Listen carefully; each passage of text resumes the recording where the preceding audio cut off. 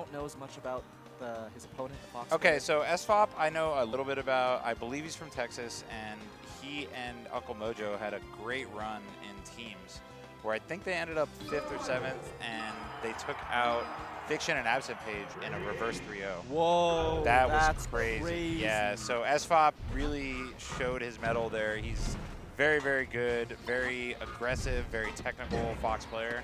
Mhm. Um, and so I would expect to see a lot of the same. Obviously, Fox can't be quite as aggressive in this matchup as he can in most because Samus has that crouch cancel, she has that wave dash back. If you overexert yourself a little too much as Fox, you could get down smashed and die. You know, So- I, I feel like what you said, fast technical Fox. I feel like like Samus counters that exactly. yeah, I mean, for sure. He, uh, you almost have to slow it down as a Fox to to play the matchup properly because if you're just running in with short hop nairs, one of them's gonna get crouch cancel, one of them's gonna get wave dash back and down smashed. You're, it's gonna be a bad bad look for you. Oh wow. Okay, and SFOP's gonna barely live that. Nice trade. You know, now that now that you mentioned, uh, told me a little bit more about SFOP, I, I, I think I saw the, the clip on Twitter where he just zero to death uh, Mojo. Oh yeah. He's really good. Um, Crazy sequence that combo. yeah, I don't know if you guys can find it, but it will probably be on his Twitter. right. Yeah, no, definitely very good player, very technical. Nice nair from Violence. But yeah, I mean, I I know this matchup a little bit on both sides. Oh, okay. Trying I to mean, cut off a side B there. You're a Samus man. yeah, exactly. And I used to main Fox. Yes! Oh, got him. Let's Nicely go, done. Violence. Uh, Yeah. Oh, and he caught him with the missile. So that's as Fox recovering against Samus. It's actually really stressful. There's just it's kind of like this obstacle course that you have to navigate through. And Fox most of the time can always recover. It's just he needs a very specific sequence of aerial drift, fast fall, maybe a shine to reflect a missile or whatever, and then side B or up B with a good angle. It's it's always doable, but it's very very difficult to do consistently. Right, and Fox's Fox's recovery is, is literally it's it's um straight. right? Yeah, yeah, yeah. So Ooh. and Samus has a lot of tools to, to cut a lot of those angles off. Mhm. Um, you know, this is this is really interesting. It's, it's basically two matches of, of up and comers. Who would have thought that Yeah, these two players would be playing in round two winners? Right? yeah, no, for sure. I think uh, 2019 is going to be the year of up and comers. Honestly, I think basically we've gotten to the point where the people who started during the resurgence of melee, which was like 2013ish, I think those people. Oh wow, what a kill from SFOP.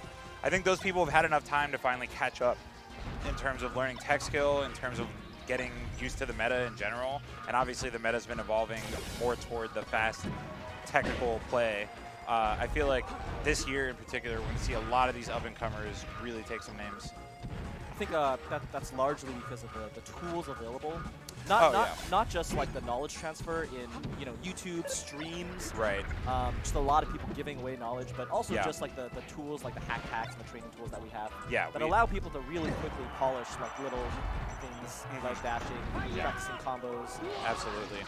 Violence evening it back up. One stock apiece. Uh, SFOP needs to be careful. This is a very scary situation for a Fox against a Samus, especially with that charge shot locked and loaded. But on Violet's side, he's one up smash away from dying Right. as well. 89%, 90%, that's really scary. So Yeah. as Oh. Samus, uh, he kind of Lets just it let it rip. Yeah. Not sure about that one. In that situation, when it's last stock and I'm down big in percent as Samus, I'm always looking to save that charge shot for a potential kill. Because, I mean, you're down 100% to zero. Even if you land a charge shot in the neutral, it's not going to do anything. You're not going to be able to get anything off it.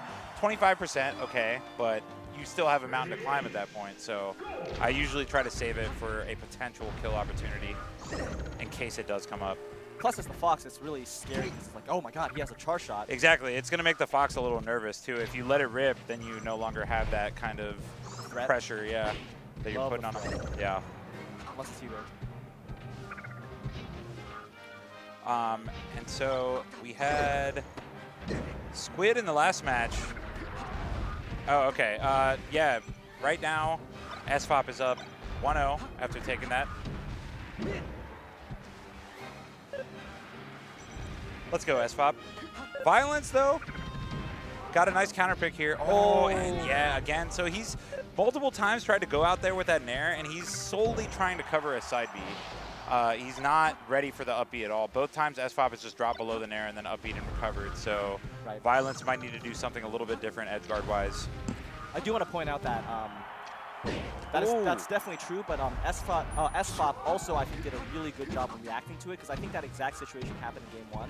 And it looks like as uh, the recoverer, he's looking for, for when um, Violence or Samus or whatever is going uh, off stage, Right. and just like reacting and then actually fast falling to, to avoid that. So Yeah, yeah. A lot of players don't actually look for that. Yeah, they kind of just commit to a recovery option right away. Right, Yeah. right, exactly. But SFOP, you know, um, taking every uh, reactable situation and making something out of it. So that's that's really good play right there. Yeah, for sure.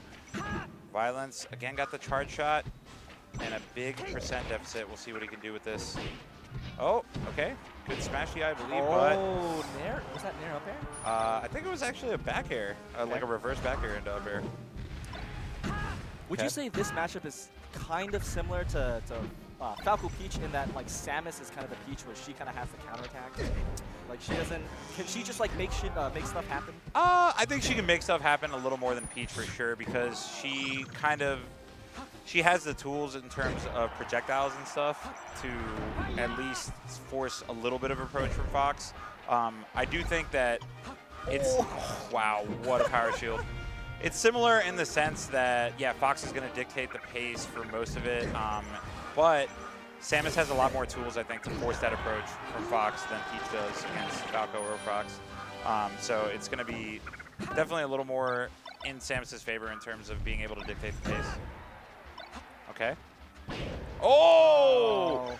That was really good from SFOP. Just straight knowing where he's going to be at the top of the screen. Very hard to do at that height, but he gets it. Oh, man.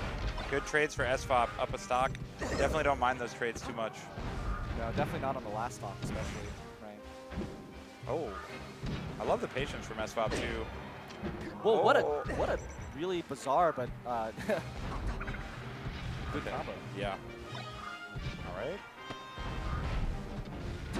Oh, he connected that. Yeah, and that had a kill. actually barely kills in the corner there. Nice from SFOP. Looking ready for the matchup. I was a little